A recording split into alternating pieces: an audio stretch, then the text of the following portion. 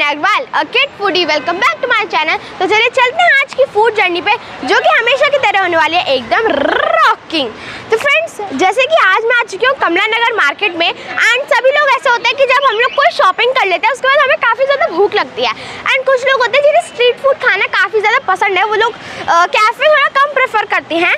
तो आज मैं आ चुकी हूँ आपको ऐसा स्ट्रीट फ़ूड दिखाने के लिए, जो कि मिलता है हमें सिर्फ़ और सिर्फ़ हंड्रेड रुपीज़ में। हाँ जी फ्रेंड्स हंड्रेड रुपीज़ में। तो सबसे पहले हमारी डेस्टिनेशन है मेरे और सबके फेवरेट छोले भटूरे। फ्रेंड्स आप मेरे पीछे देख रहे हो, भीड़।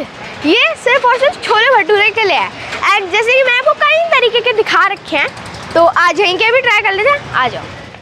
तो फ्रेंड्स कमला नगर मार्केट में मैं आ चुकी हूँ चाचा दी हट्टी पे। एंड यहाँ के जो छोले भटूरे ना, एकदम फ़ेमस है। तो आ जाओ, चलते हैं टोकन लेते हैं एंड देन अपने छोले भटूरे लेते हैं। आ जाओ।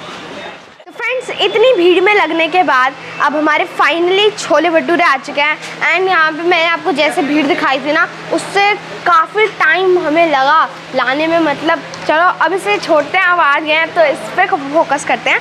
फ्रेंड्स एक चीज़ इनकी अच्छी है, यहाँ पे ना पनीर वाले होते हैं ना, अंदर की स्टफिंग जो पनीर हाँ हाँ हाँ बहुत गर्म है। पनीर की जो स्टफिंग होती है, इनके पास है आलू की स्टफिंग आलू, देख लो फ्रेंड्स थोड़ा सा दिख रहा है ना मतलब आलू है इसके अंदर। ठीक है? तो अब चलो स्टार्ट करते हैं, देखते हैं कैसा होएगा। फ्रेंड्स ये हमारे छोले हैं, यहाँ पर हमें एक दे रखी है मिर्ची, जो कि मैं ऑब्वियसली नहीं खाऊँगी। साथ में प्याज दे रखी है। तो चलो टेस्ट करते हैं, देखते हैं कैसा होगा।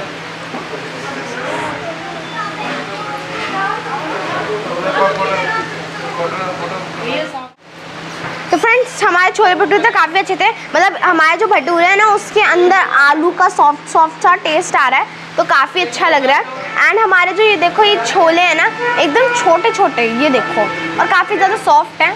तो और मैं आपको इसका प्राइस भी बता देती हूँ, फिर आप कहो कि ये तो हंड्रेड रुपीज़ का है ही नहीं, ऐसा नहीं है। फ्रेंड्स हमारे जो दो भटूरे होते हैं, वो होती है एट्टी रुपीज़ की प्लेट एंड हमारा एक भटूरा जिसमें आता है, वो है फोर्टी फाइव की।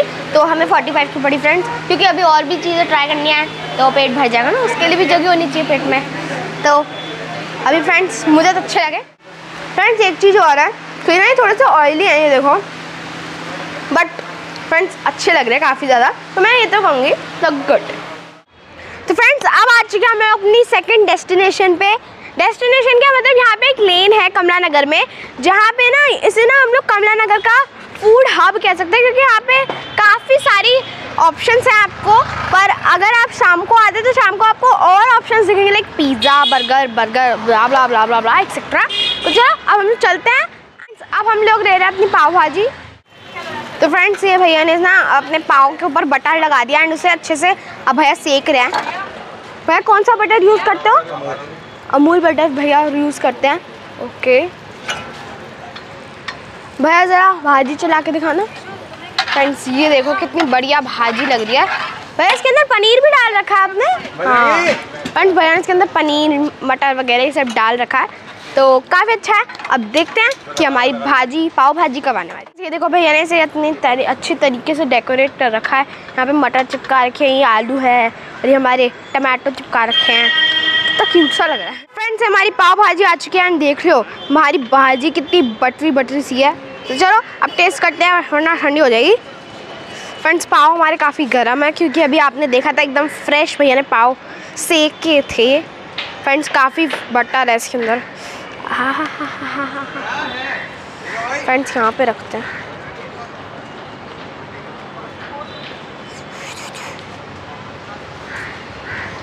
फाइनली फ्रेंड्स देखते हैं कैसा होएगा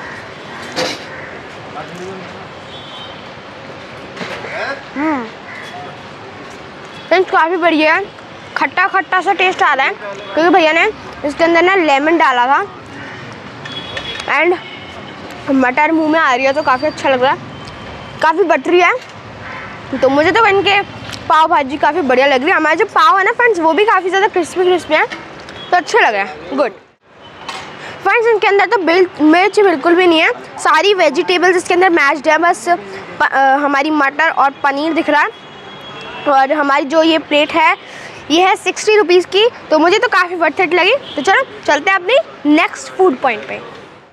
तो फ्रेंड्स हर मार्केट में राम लड्डू तो होते ही हैं। ऐसी कमला नगर मार्केट में भी है। तो चलो चलते हैं। फ्रेंड्स यहाँ पे हमारे राम लड्डू बन रहे हैं।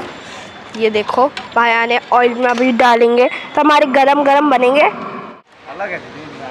तो फ्रेंड्स ये आ चुके हमारे राम लड्डू। तो फ्रेंड्स अब आ चुके हमारे राम लड्डू आएँगे हमारी ट्वेंटी रुपीज़ की हाफ़ प्लेट है। तो चलो जल्दी जल्दी ट्राई करते हैं देखते हैं कैसे होने वाले हैं। चलो ट्राई करें हमारे राम लड्डू। हम्म काफ़ी बढ़िया है।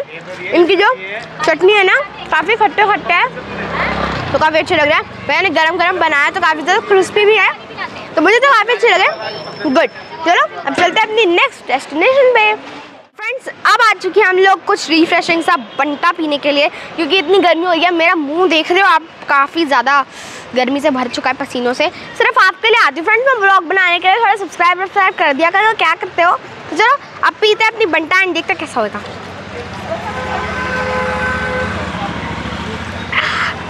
फ्रेंड्स काफ़ी ज़्यादा रिफ्रेशिंग है, काफ़ी बढ़िया लग रहा है। इसका प्राइस भी बता दीजिए इसका प्राइस है थर्टी रुपीज़ काफ़ी अच्छा है। तो चलो, इसी बढ़िया बंटा के साथ इस ब्लॉग को यहीं एंड करते हैं। शॉर्ट के ब्लॉग अच्छा लगा तो इस ब्लॉग को लाइक शेयर ज़रूर कर देना और मेरे चैनल को सब्सक्राइब भी कर देना। सब्सक्राइब के पास वाले बेल आइकन को भी ज़रूर डालना तो अभी के लिए bye foodies thanks for watching